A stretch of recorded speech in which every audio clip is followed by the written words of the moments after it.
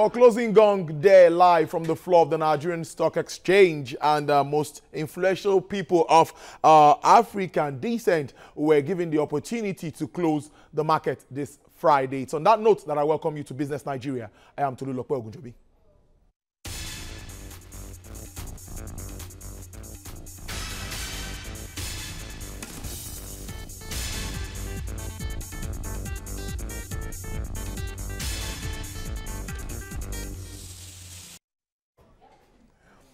Well, a warm welcome to you again. Telecoms giant MTN Nigeria has rejected the allegation that it repatriated $8.1 billion illegally. The telecom insisted that all the dividends it paid its shareholders between 2007 and 2015 were approved by the Apex Bank. The company was reacting to the claim of the Apex Bank that it illegally converted shareholders' loans to preference shares and repatriated $8.1 billion as dividends during the period under scrutiny.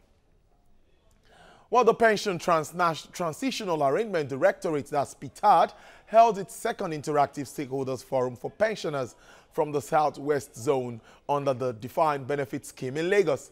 The event gave the opportunity for speakers and stakeholders to discourse and profile solutions to issues affecting pension administration in the country. Details in this report. The Directorate is a ministerial department funded by the Federal Ministry of Finance. It's responsible for the management of pensions under the Rolled Pension Scheme for pensioners who did not transit to the new contributory pension scheme. This gathering is aimed at tightening loose ends as it affects payment of pension and intimating the pensioners on innovations and quality services rendered by the Pension Transitional Arrangement Directorate. Without all the sister agencies, the stakeholders and pension administration working together, we cannot achieve any success in pension administration. So we have a close collaboration both with the Office of the Accountant General of the Federation, our supervising ministry, which is the Ministry of Finance, the CBN, where we maintain our treasury single accounts, and also with PENCOM, who is the regulator of the industry. So there's, there is a large uh, extent of uh, collaboration amongst us. We continue collaborating with all the agencies the, the, the committee is uh, overseeing so that at least areas of collaboration and areas of improvement will be put in place to better the life and flight of our pensioners. We will continue to appeal to the executive arm of government to make sure that adequate funding is given to the agencies responsible for payment of pensioners. Chief Commissioner of Public Rights Commission agrees that there has been reduction in various types of complaints from pensioners, ranging from delay and non-payment of pensions and gratuities, especially against the public sector. We have uh, serious challenges of, uh, of funding because it's a very mobile agency. We have, you know, hundreds of investigators who need to move out to the sites of the complaints because sometimes you can't treat a complaint sitting in the office. So they need to go and inspect the site. And also we have to arrange press, I mean, case conferences to sit down with the complainant and then the person against whom the complaint is made so that we can resolve those matters. We have timelines within which, uh, you know, complaints that we've made to respondent should respond to us. And we are, you know, moving to make sure that we are very, very firm in applying sanctions to those who are intransigent. Pensioners that are suffering most in this country are local government pensioners and teachers because of the 5% counterpart funding initiated by the federal government in 1987. We want that counterpart funding to be resuscitated. A lot of the fraudsters are from the old defunct pension administration offices that collapsed when PTAD took over. They still have the data. They are calling the pensioners. So we are being proactive by reaching out to our pensioners and asking them once they receive such calls, they should call us. We have our investigations on ground to go after those fraudsters. The Pension Transitional Arrangement Directorate was established in order to eliminate all the bottlenecks associated with the old pension system. Now, following the release of Nigeria's country-by-country reporting regulations, the regulations in June 2018, the Federal Inland Revenue Service has issued complementary information as follows. Now, guidelines for CBC reporting in Nigeria, CBC reporting notification template, guidelines on the appropriate use of information contained in the CBC report and inappropriate use of CBC reports and the likely consequence for the FIRS. Now, let's take a look at some of the guidelines.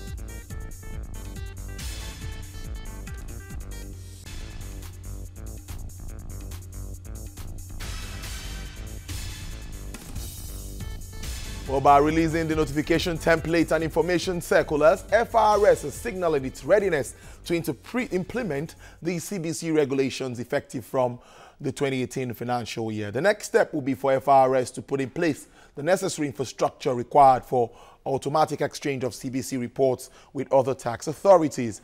Taxpayers, on the other hand, need to start taking steps to ensure effective compliance.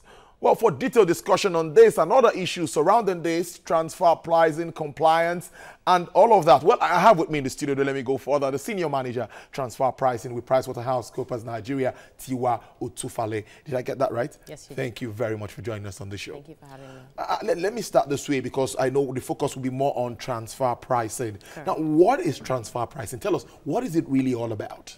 Well, transfer pricing, um, in effect, um, is really the way in which sort of related parties or connected parties price their transactions. Um, so what you would find is that in most tax jurisdictions, transfer pricing rules are being introduced. Why is that? One of the key focus areas of a lot of tax authorities um, is the fact that a lot of transactions or, or yeah, well, I would say transactions occur within multinational groups or groups of companies. So the pricing of those transactions impacts the profits within the group, which also consequently um, impacts tax. So a key focus area for tax authorities is, is ensuring that the pricing of the transactions is done appropriately and as would have existed between independent parties. So just to bring that point um, home a bit, um, the Nigerian tax authorities introduced transfer pricing regulations in 2012, um, and this is just to ensure that Nigeria doesn't have a negative impact from a tax perspective from the pricing of transactions. So for example, um, a company in Nigeria having transactions with its offshore counterparts in other jurisdictions. Um, and as we've been seeing, the, tax, uh, the government as well as the tax authorities um, are trying to sort of in, increase um, revenue and therefore uh, transfer pricing is a key focus area for them. Indeed, increasing revenue at this time when we try to diversify away from oil. But why is transfer pricing, why is it important at this time? So it's important now because um, I, I, guess maybe just to give a background, um, now over the last sort of two decades, the way in which businesses conduct their transactions um, differs from what would have existed over 20 years ago. Um, however, the tax laws haven't really kept up with the evolution of business. Mm. Now there's a lot of digital business and things like that, but our tax laws still kind of follow the traditional way of doing business, which is having a sort of a fixed presence um, in a particular jurisdiction.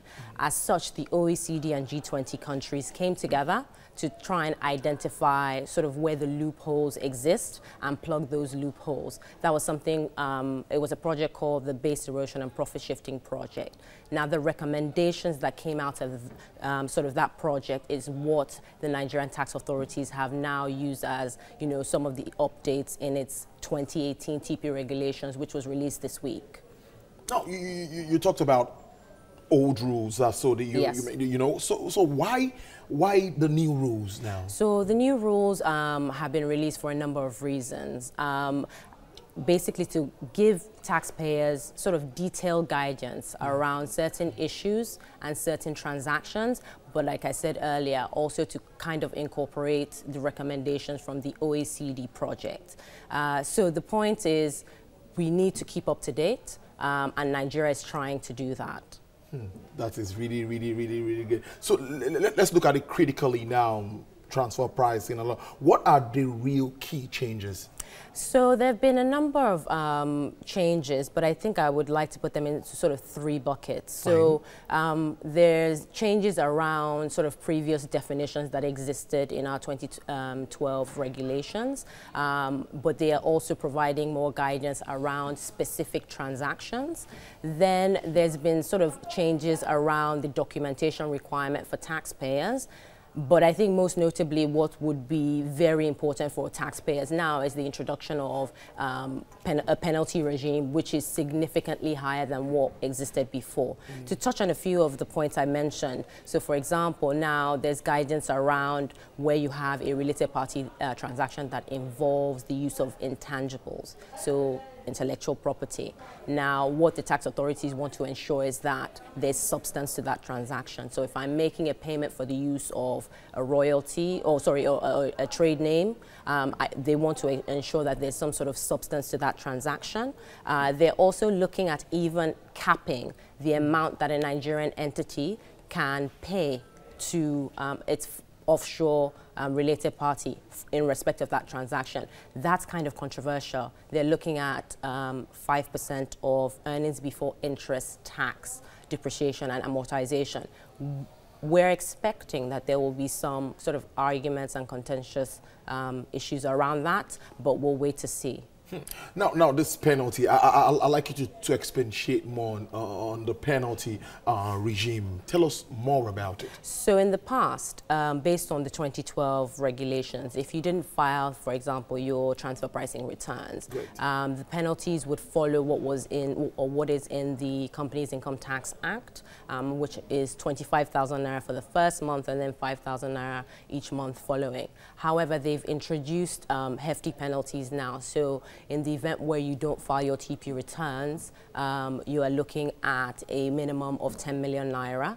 Um, for failure to file the return and 10,000 naira for each day that the default um, continues. There are also very similar uh, sort of penalties for other types of what I would say defaults. So for example, if you do not prepare, uh, or rather if you do not submit your transfer pricing documentation to the tax authorities when they request for it, it's also 10 million naira. I think one, one thing that's probably worth noting is the fact that the penalties could be as high as 1% of the value of the related party transaction. So if your transactions are quite significant, then you are looking at hefty penalties.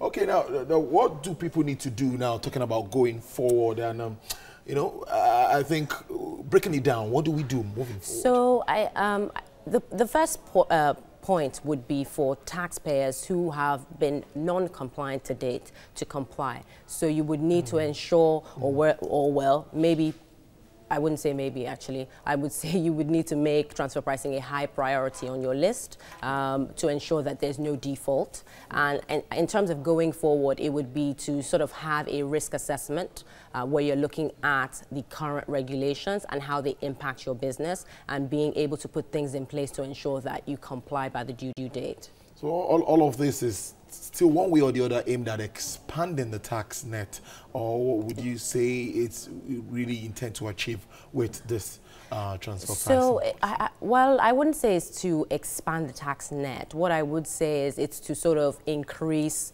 um, sort of compliance? compliance, as well as ensuring that the tax base in Nigeria is not eroded. There's always this um, sort of notion that multinational companies um, who work or who have businesses or, or transactions in less developed um, countries seem to sort of shift profits to lower tax jurisdictions. However, you know, the introduction of transfer pricing rules is to minimize, um, uh, well, eradicate that. Well, indeed, very interesting. Well, I think I, I have signals from the Nigerian Stock Exchange now that um, uh, is uh, Ekop ready? Can I, So, madam, can I hand it over to him? So all through you will be talking to me. Don't mind them. Hello, Ekop. Hello, Ekop. Okay, so so oh Tiwa, well let's as we, as we round up this Yes. uh, part of the discussion, what what what do we? You've, you've already said that that compliance is this part of the world. Many don't comply, maybe because they don't see what government in quotes because people believe that like i always give that example of a state like lagos. You see what the government is doing. You pay happily you comply. Do you agree that there's also government needs to do more in talking about making people enjoy you know Well, I think. I, I I think the point would be for government to sort of have some kind of framework where they're kind of showing where the revenues are going. Um, there could be a lot of misinformation um, going around about whether or not the tax revenues are being used appropriately, but putting in putting in, in, in place a framework to show taxpayers that where their taxes are going would be useful.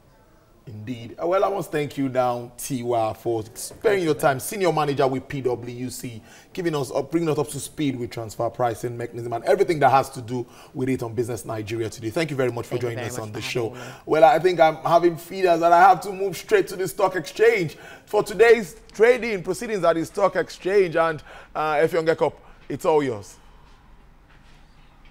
Tolu, good afternoon. This afternoon, uh, uh, the market closed in the negative territory. And of course, we predicted that in the afternoon, that it- there's no way that we will be positive at all. The market was down 0.68%, nearly getting to a percentage point. You know the fundamentals guiding all of this. But the issue that we are going to discuss this afternoon concerns most influential people of African descent the delegation was here at the stock exchange. And we have groups of them you led by our morayo afolabi brown deputy director of tvc news entertainment. Madam welcome. Thank you for having us. for now we are not so familiar with this your group. Okay, we, the we want to know more about it later Okay, the ladies of your view were nominated. In fact, we're actually recipients of the most influential persons of African descent.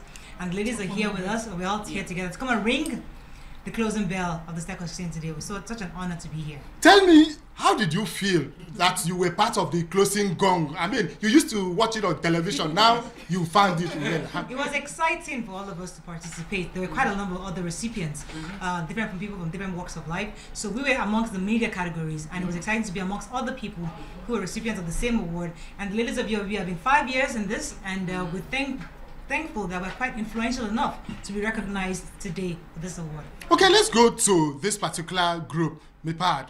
This is for 2018. Yes. And for how long has this gone? I mean, the training to spot out global women. My, my part started last year. It wasn't just for global women. Last year there were women from all people from all uh, all walks of life. From Africa, that were, that were amongst those who won the 2017 MIPAD. This year we're amongst those for 2018, and it's going to continue up until 2024.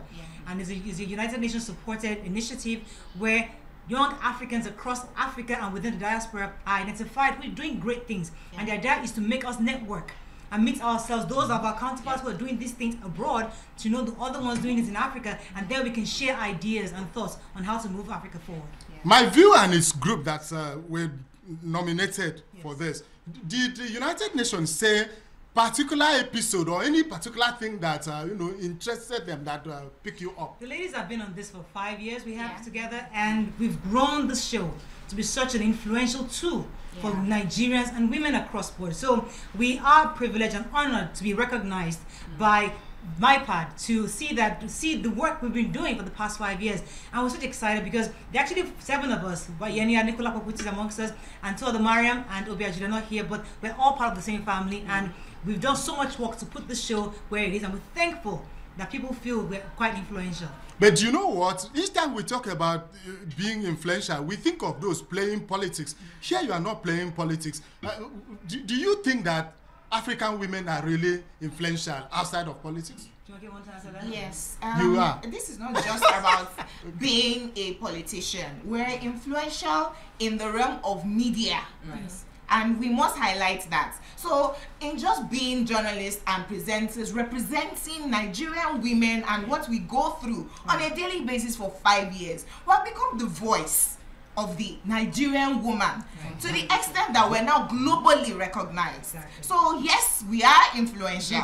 we Okay. determine what government say concerning women. All right. So I guess you have come of age. You will not be talking about men marginalizing women again from this But time. that's an important conversation. In fact, it is part of the Millennial Sustainable Goals, the MMSDG, um, for 2018 and thereafter. Gender equality. Exactly. So we're not the ones saying It's that UN. Yeah, hey, UN is saying that women all over the world are not yet equal to men, and we need to address the issues. and we do plan Okay. to support MIPAD on that project of gender equality.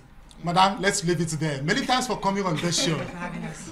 Ah, it's been a proper edition today. You know, I've had all these beautiful ladies that you've always seen on your television doing my view right here at the stock exchange, closing the bell along with their colleagues, and they are up there on the 20th floor. So I had to bring them here to talk to you here. Back to you, Tolu. Efiok, thank you very much, very much for bringing us up to speed. And say me hi to Morayo and other colleagues there. That um, I think there's going to be an episode of Your View direct from the Nigerian Stock Exchange so that we know how trading. Also, maybe we could have Oscar Oyema on the hot seats with them. Thank you very much. Well, it's so it's not too good. The market closed on a negative line, 0.68%. Talking about the all share index, you know, the up and down anxiety as we move to the political, well, uh, season and all of that is affecting a lot of spending, a lot of sell-off for cash. Well, let's say it plays up and would always be bringing you up to speed with trading activities live from the floor of the Nigerian Stock Exchange and also from our studios here talking about business uh, activities all across. But before we go, let's tell you that illegally imported goods worth 94 million naira have been confiscated by the Nigerian Customs Service. That's the Federal Operations Unit Zone B Controller of that unit made the disclosure while presenting the goods before newsmen in Kaduna. Tese Makende has the story. It's a new leadership at the Federal Operations Unit, Zone B of the Nigerian Customs Service headquartered in Kaduna. Sarkin Kebbi Mustafa assumed leadership here only two weeks ago. He has since then hit the ground running, and these contrabands are a result of the hard work. The ones we have uh, seized here, they have a combined duty paid value of 94 million naira. The Dangote truck we apprehended with about uh, 267 bags of rice was apprehended along uh, Funtua Road. Sarkin Kebbi says the Federal Operations Unit, Zone B, under his watch will not relent in dealing with those he describes as saboteurs of Nigeria's economy. You can see our two brand new Hilux uh, vehicles with a duty paid value of about 35 million naira. Then we also seized uh, about uh, 860 bags of uh, 50 kg foreign parboiled rice in various vehicles. The seized items include, among others, bags of rice and palm oil, valued at 94 million naira. As usual, a note of warning was sent to those involved in smuggling. Sarkin Kebbi tasked them to do this from the practice, noting that the Nigerian customs remains committed to tackling the act. Tessa Makinde, TVC News, Kaduna. Well, finally, crude oil prices are relatively steady at the global market on Friday as Japan gives up on securing a sanction waiver for Iran's oil. Well, at the London market, the European Brent trades at $77 per barrel. The OPEC basket crude steadies at $74 per barrel.